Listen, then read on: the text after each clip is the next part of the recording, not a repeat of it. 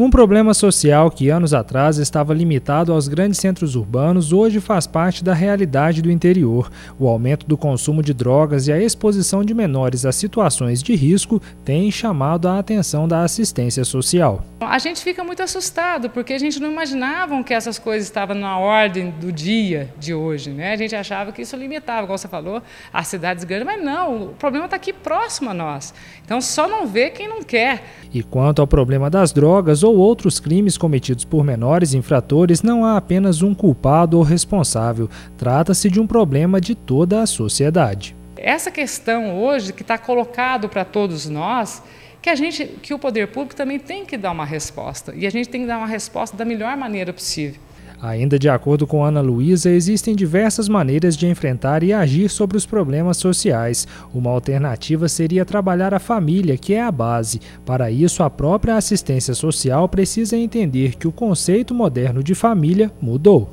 Hoje está muito mudado, por exemplo, hoje nós temos um grande, é, um grande número de avós que cuidam dos netos. Isso é família? É família.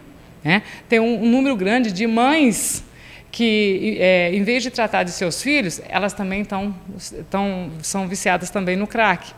Né? Tem mães que estão é, é, é, perdidas, não sabem como lidar com os filhos que também estão na dependência química. Hoje mesmo a gente vê o problema também um alto índice também de prostituição infantil, muito ocasionado também por conta da droga. Então, é, são essas questões todas que a gente quer é, aprofundar nesse seminário. Segundo Ana Luísa, o Seminário da Criança e do Adolescente, em setembro, irá focar justamente a família e as inscrições já estão abertas. Então, por isso que a gente está convocando a sociedade, as pessoas, para participar desse seminário, para junto conosco a gente procurar pistas, né? porque a gente não vai ter uma solução, mas serão várias soluções. Para determinada questão a gente pode fazer assim, determinada questão a gente pode atuar dessa maneira.